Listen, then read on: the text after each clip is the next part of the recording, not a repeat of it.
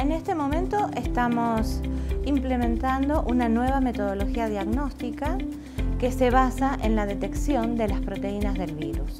Viene en un dispositivo muy similar a lo que sería un test de embarazo, es muy sencillo de realizar. Es fundamental que el paciente que vamos a estudiar tenga síntomas y no hayan pasado más de 7 días desde que hayan comenzado estos síntomas. La ventaja que tiene este sistema es que se puede realizar el test en el mismo lugar donde se está atendiendo al paciente. Provee todo lo que necesitamos para trabajar, no necesitamos ningún aparato en particular. Además tenemos en 20 minutos el resultado y de esa manera fácilmente podemos este, detectar un positivo para poder aislarlo, buscar sus contactos y también poder aislarlo.